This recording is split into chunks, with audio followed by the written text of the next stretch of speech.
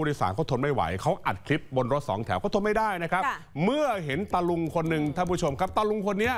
หื่นกาม นั่งขยับเข้าไปใกล้ๆ สมมติน้องเอนั่งอยู่บนรถสองแถวเงี้ยค่ะขยับเข้ามาใกล้ๆขยับเข้ามาใกล้ๆแล้วเอาขามาโดนเอามือไปจับอย่างเงี้ยอืมเอกก็จับกลับเลยนะ จริงเหรอจับอะไร จับมือเนี่ยล็อกจับมือเอาออกไปเลยตะโกนโวยวายเลยเออดูคลิปครับ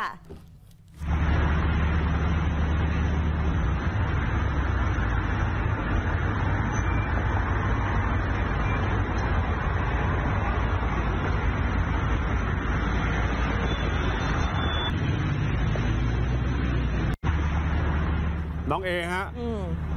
บอกน้องเขาหน่อยค่ะว่าถ้าเจอเหตุการณ์แบบนี้เราเราจะทำยังไง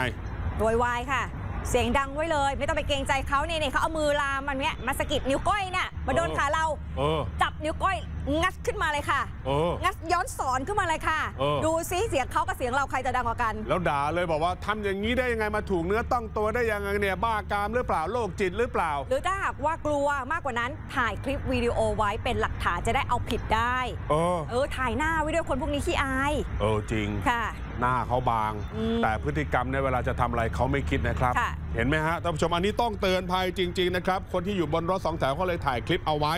นะครับ เมื่อนะครับเขาเห็นว่ามีคนถ่ายคลิป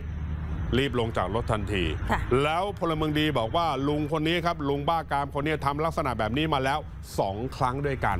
อันนี้เตือนภัยนะครับบอกบุตรหลานด้วยครับ อย่าค่ะไปเกรงใจ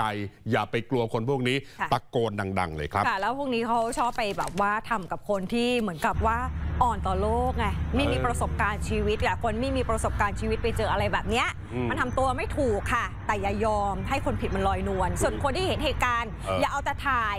ช่วยน้องเขาด้วยอืมนะคะ ล็อกตัวจับไว้หน่อยก็ดีเหมือนกัน ดูอย่างพี่เอเป็นตัวอย่างนะครับ พี่เอบอกว่าถ้าโดนจับแบบนี้ พี่เอจะจับทันที ใช่ใช่แต่ก็ไม่ไม่สนับสนุนความรุนแรงอะค่ะ